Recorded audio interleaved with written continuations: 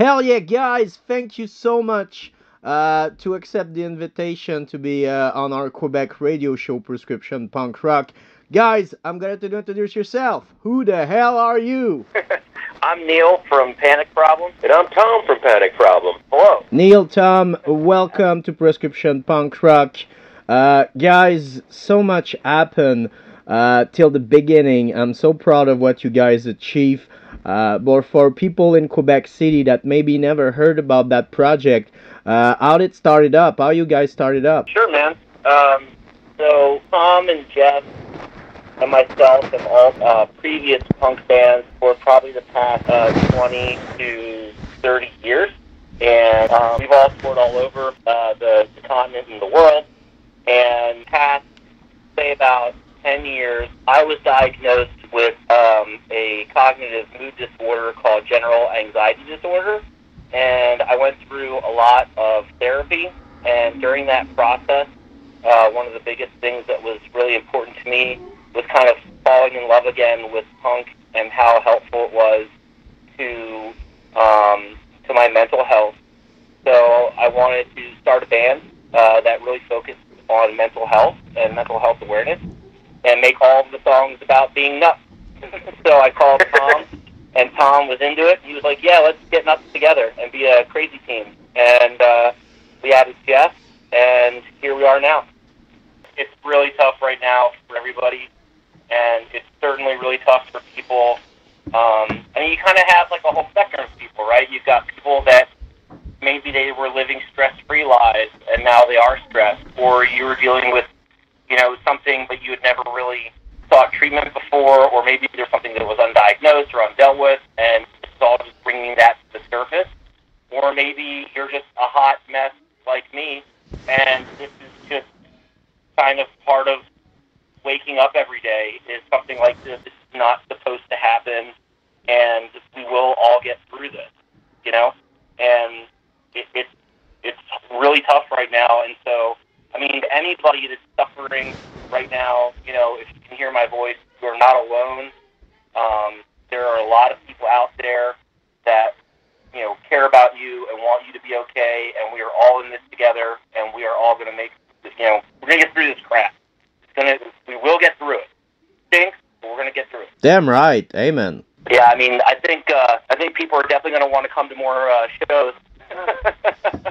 I think I think people are gonna want to go and hit the bars pretty hard when this is all done. well, actually, that's kind of what happened with this album. Uh, obviously, we didn't plan the timing around this, uh, but uh, our album release show was supposed to be March 13th here in Baltimore. Yeah. Yeah. Playing with uh, Dave Hause and the Mermaid and the Explosion, and uh, it was going to be a great show. Almost sold out. Uh, probably Yeah. would have sold out. And We'll then, walk up you know, that.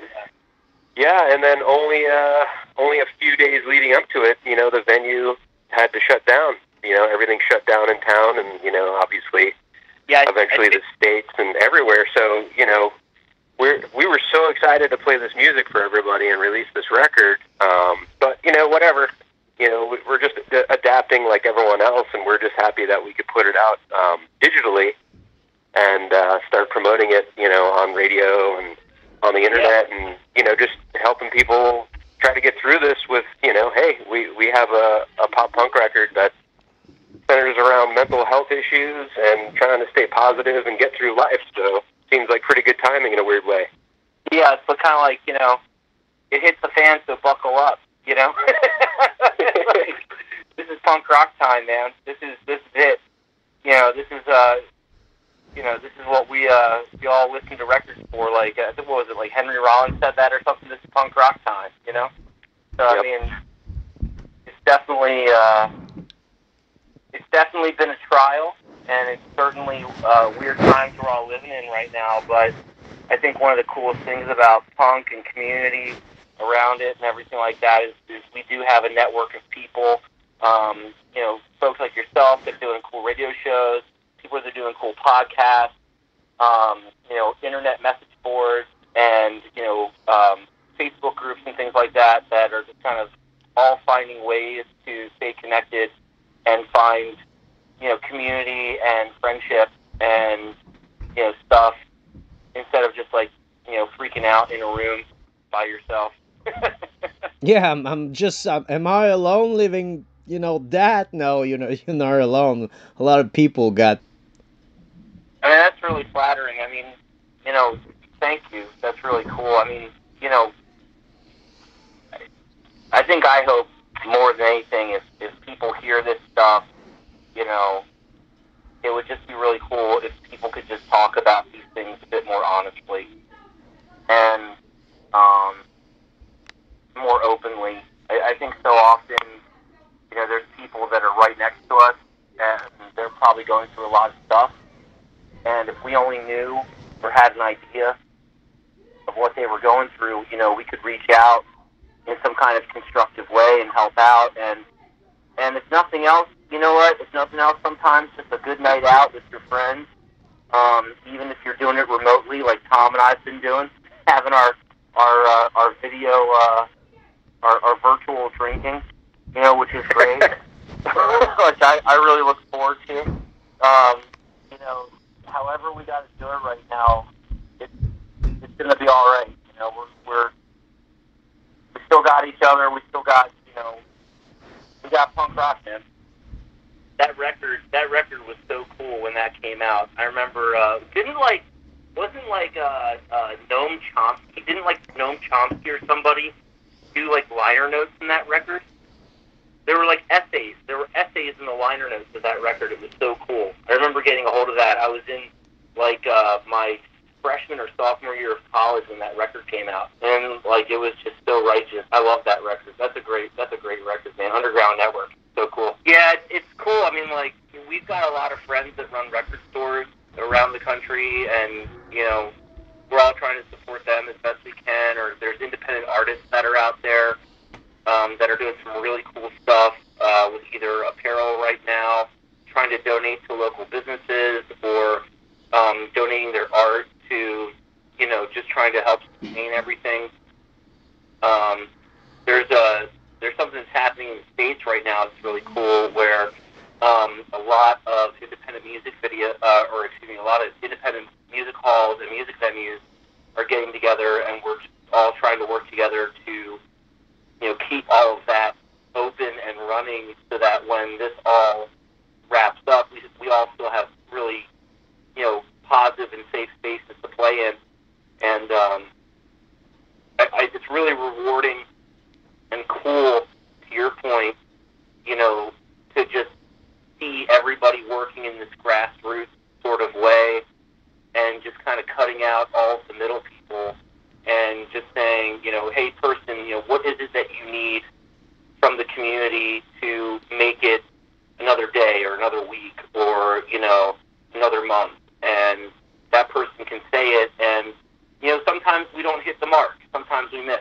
But a lot of times, uh, you know, as a community, making it happen or we're exceeding it, you know, and uh, more than anything, that just gives me so much hope right now.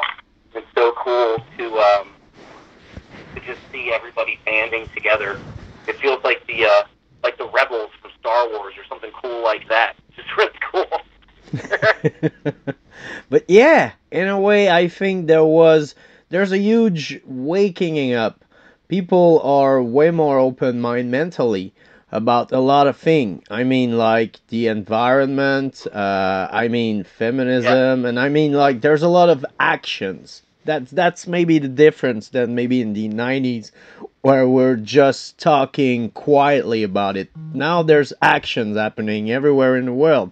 But with that virus and everything, I think it's I don't know, it's gonna maybe bring more people together or the voice gonna be louder but yeah, I think we're we're gonna reach another level, and the new generations are ready. You know, our kids. Um, it's not like us. We were in the middle generation. Maybe our parents didn't care about that. We didn't care that much, but still, we know it's there, or we care a little bit. But our kids care, and that's that's gonna be the change. And I think that we're gonna care way more than we never did uh, back in our lives. So it's a beautiful thing. As as like an older punk, you know, like how can you, you know, how can you support the the younger the younger punk is out there, the younger rabble rousers out there, without like necessarily like getting in their way or or trying to like tone control like what they're what they're doing and going through. And you know, I think sometimes you know for for more established bands, you know what what what we can all do is you know help take um, you know newer and younger um, bands out on the road to make sure that people are seeing you know really cool fresh fresh messages and fresh takes on older messages. And um, you know for or for bands that are starting kind of you know out or or starting again kind of like how Tom and Jeff and I are where you know we we were in other bands and now we're doing this one so you know it's kind of kind of new but we've kind of done this, done it before and I think the other thing that we can all do is we can also listen. You know, we can we can take that moment and try to help these younger people that have experienced you know new takes on things to help them you know have their voice and you know amplify that voice so that you know th- that they are validated. Not that they need us for validation; they don't. You know, they they can validate themselves, but they can be you know, there there can be a vindication, there can be a an agreement, a a uh, an understanding that yes, what they are experiencing is valid, you know, and um, I really hope that that's something that we can do as a band is is uh, or just you know forget the band for a second, just people, you know, just just to see what some of these younger people are going through and, and saying, you know, I see you, I see what you're what you're going through, and you know, how can I help, you know yeah, I've always wanted to check that out with all of your beautiful bridges and everything, and I'm I'm uh, very envious. Plus, you guys have a fantastic food culture, which I'm I'm dying to, to check out. So, but I've I've been all over Canada. I've been all yeah. over Canada, but I I particularly love uh, Quebec. I, I have uh, I have been lucky enough to uh, visit and play in Quebec City many moons ago. Um, yeah, it was, I don't know, probably like 97, 1997, 98, some, somewhere around there. Uh, it was with my old band, uh, The Smooths. We were on tour with, uh, speaking of Anti-Flag, we were on tour with Anti-Flag and No Use for a Name. Was this and, the Smash Mouth tour? No, that was, that was way later. But, uh, that was not, that was 98. Yeah. No, but, uh, but yeah, so I think, I think in my parents' house, in New York, uh, they have a framed poster from that show. I can't remember what venue we were at, but uh, it was awesome, man. That, that was as a band our first uh, run through Canada, and it was fucking great, man. I I love going up there. I I love Canada in general.